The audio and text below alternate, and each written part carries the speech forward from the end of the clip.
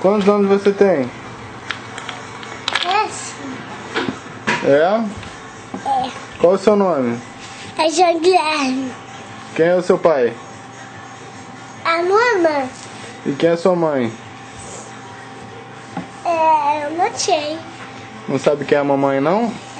Como é que é o nome dela? É a a irmã. Tem uma irmã? Chama Marina. É a Marina? É, Mostra ela aqui. É ela, sua irmã? é. É bonita ela, hein? E aí? É, Tudo certo? é do céu. Essa mãe